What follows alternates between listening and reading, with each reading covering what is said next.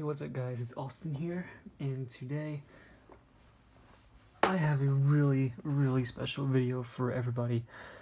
Um, well, I say that because this engine uh, I had since July, and I I couldn't get it back. Oh, here comes a train. I'm I'm gonna ignore that. Um. So what I meant to say is, um, like I said, this train or engine, sorry, I've had since July, and for the past nearly, I say nearly six months, um, it would perform very badly, and it would perform. I mean, not perform. It would be in my storage drawer for a fair bit of time, and luckily, just I think a couple hours ago, I was just able to restore it finally. And she is coming around the bend now. And if you see my Instagram post, you will see what I mean. You should already know if you see my Instagram. And here she comes in shot. And if you've been following my channel for a while, you will see that this engine had a major, major absence. Ladies and gentlemen, the Rivarossi cab forward. And yes, I do notice that the little rod thingy majiggy is missing, but that will easily be replaced. Um, but yeah. oh man, the work I had to do to get this engine up and running again. Whew, we.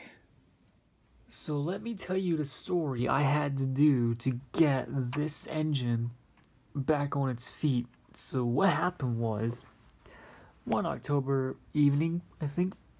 I was running this thing, and um, you know, it performed as usual, as any other model engine would do.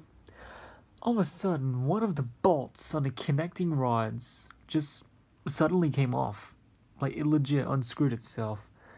And I thought, oh my god, this isn't good. So, I tried to fix it, and of course I couldn't. So, what I did was, I got this thing taken to the hobby shop, to get looked at, and I didn't even get it back until a month later. So, I've been advised to use hex nut screwdrivers to try and fix the bolts, or in case if I needed them, need them at all.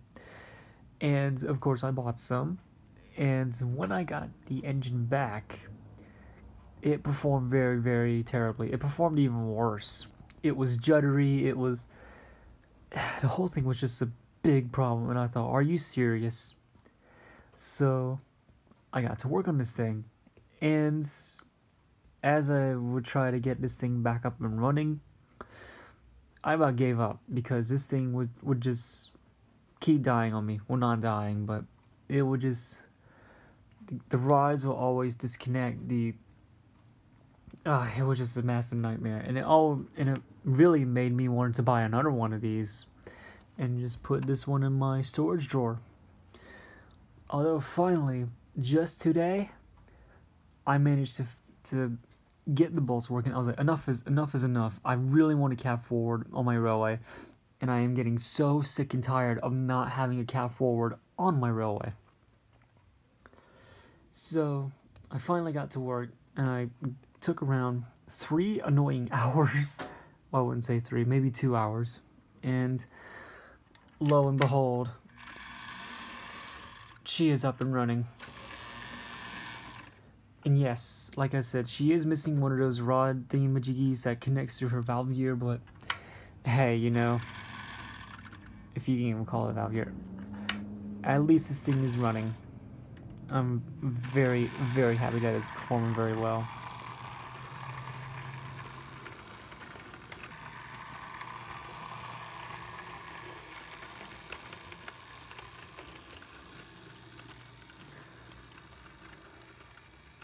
So I ran her without cars for a little while, just so to make sure that the damn bolts would not um, disconnect. But um, yeah, the thing is, she is she is running. That's, that's the only thing I can say is that she is running. I'm really happy that she is. Okay. So.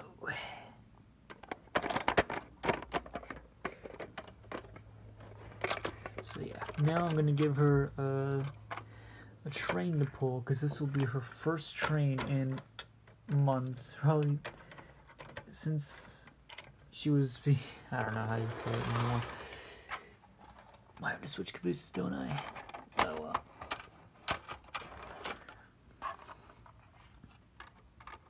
yeah. And I want you guys to be there to see it. I'm gonna switch cabooses.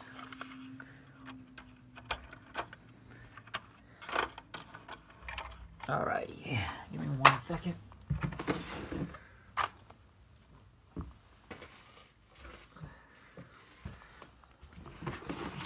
Now the caboose I'm going to be using is a non-matching caboose. I will be using a Milwaukee Road caboose. This thing rolls really nicely. I think it's an Athearn Blue Box is what a friend told me, so yeah.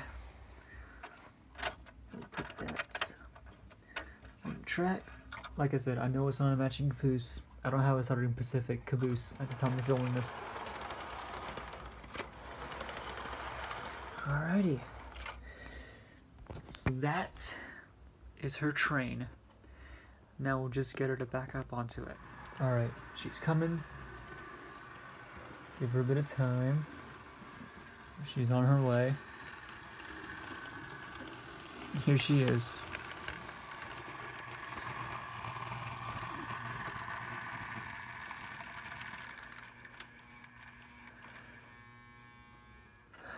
Alrighty. Now let's see if she's coupled. And she is. Alright. Her first train since October. Alrighty. Take it away. Hopefully this will work.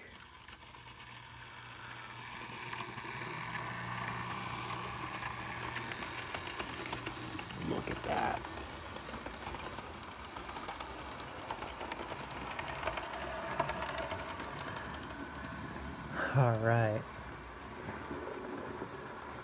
Just leave her running around for a little bit. Let's see if anything happens. Here she comes around the bend.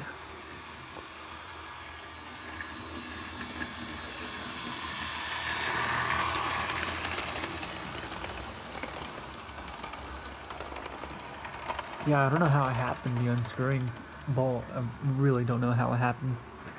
She's really quiet too. Um, I know on the camera it'll probably pick up a very harsh noise, but in the flesh it's very, very quiet.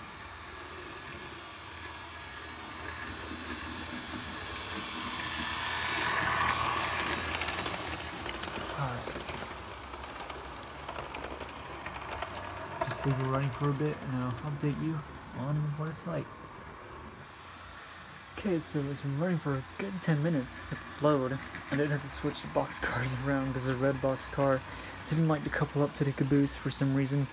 So I swapped the two out. But yeah, uh, it's been running for a good 10 minutes. So far the bolts from the connecting rods haven't came off.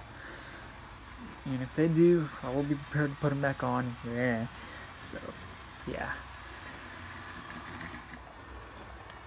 So that concludes the video of me bringing back the Rivarossi cab forward. I hope she'll be in my videos from now on. So thank you guys so much for watching and I'll see you all in the next video. Take care everybody.